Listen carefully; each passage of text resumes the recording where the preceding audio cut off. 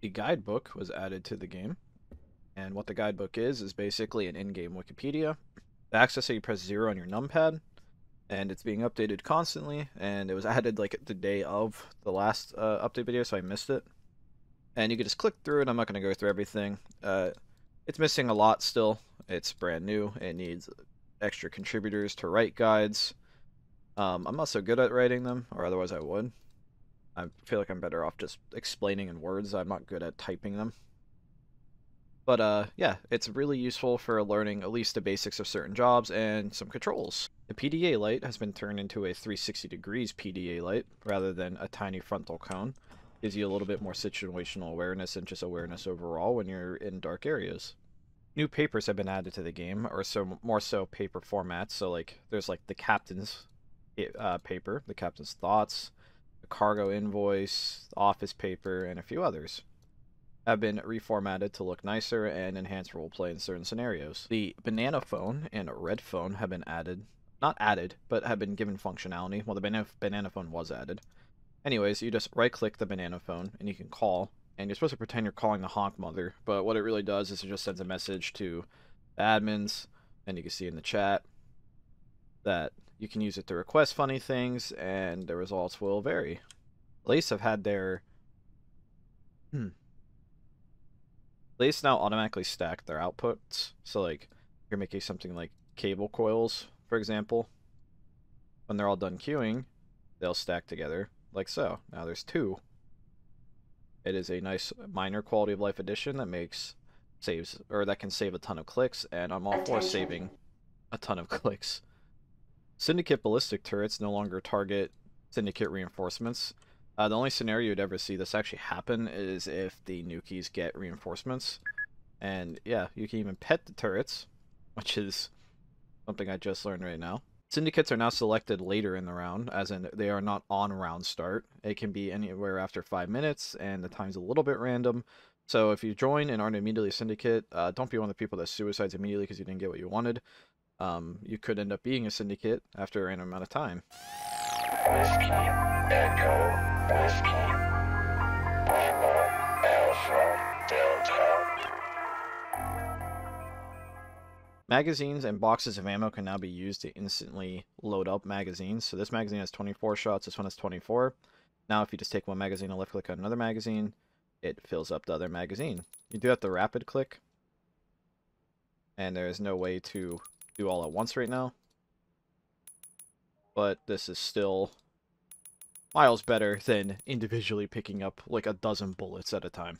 Condiment stations were added to the game, and they are something that can be mapped. But they currently give you a bunch of different plates, forks, utensils, and basically every single condiment in the game. Uh, so there could be some minor interesting uses with this, and it just adds some extra cool role-playing flair, and the sprite looks really nice. The E-Sword and E-Dagger, or E-Pen, have been given a change. The E sword is made cheaper and was given a slight damage buff. As you can see, it now does 9.5 units of slash and heat while turned on. And the E-Dagger now is quieter just overall. And the damage wasn't changed.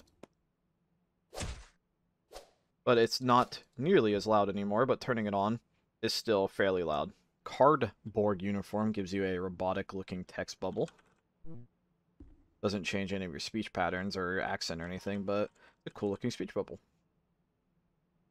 Anomalies have been changed where the severity will now fluctuate a little bit every time they pulse, so there's no more putting the uh, anomaly to 95% and just keeping it there because it's infinite points. Because now after an anomaly pulses, the severity can change. And due to that, that means you can accidentally let a contained anomaly fluctuate. As you can see, yeah, this one is growing, which I probably should have used a different example. But the severity will not fluctuate, and it isn't nearly as safe to stay at a 95% stable because it isn't stable as it used to be. Probably one of my favorite changes. Galoshes were removed from the janitor drobe. So gone are the days of people breaking into the janitor's closet within the first 15 seconds to get no slips. And this should reduce the amount of power gaming from both heads and non-alike valid hunters and such.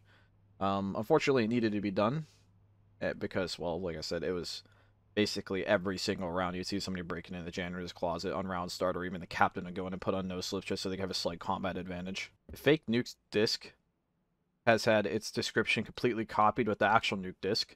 The fake nuke, nuke disc is on the left. So now the only way you can actually authenticate which is the real nuke disc is by using a pinpointer. So make sure you don't somehow get outplayed by a fellow syndicate with a fake nuke disc. And uh yeah, nukies you're not going to run into a fake nuke disc, but disc make sure, but make sure you're getting the right one. Hard suits have received more thematical looking lights. So, for example, the security hard suit has a slight red hue to it, and the engineering hard suit has a slight yellowish hue to it. And that has been changed for multiple hard suits, but I'm not going to explain and show every single one. It is up to you to figure out all the single different new colors on the hard suits, but it looks a lot nicer. Spiders have had their combat stats buffed, they can also now drag things. And most importantly, they actually can spawn webs now, which slow non uh, spiders down. So they have a good bit more use in combat, but they still can't go under doors. So you're going to have to still chew your way out of the door, but due to the combat buff, it won't be nearly as difficult. And last but not least, barotrauma damage has been buffed. Before, Humans with oxygen had 170 seconds to survive in space. Now that timer has been cut down to about 70 seconds with oxygen, and you have even less time if you don't have oxygen. As always, I encourage you guys to read through the changelog yourself. This week had a massive amount of changes. I only covered the more significant ones, otherwise this video would end up being 20 minutes long, and a lot of them are more minor things that you are like bug fixes and bug fixes of the week and stuff like that or just things that you won't see. Like I didn't really cover all the CENTCOM stuff because, well, it's mainly admin and you're not going to see it all the time. Anyways, scroll through the list here. You can do this yourself. I encourage you to do it yourself. I'd like you all to thank our lovely contributors and maintainers for keeping the game updated and keeping it keeping it going. And that is really all for now. I shall catch you all next week with even more cool changes and updates. And thank you all for watching.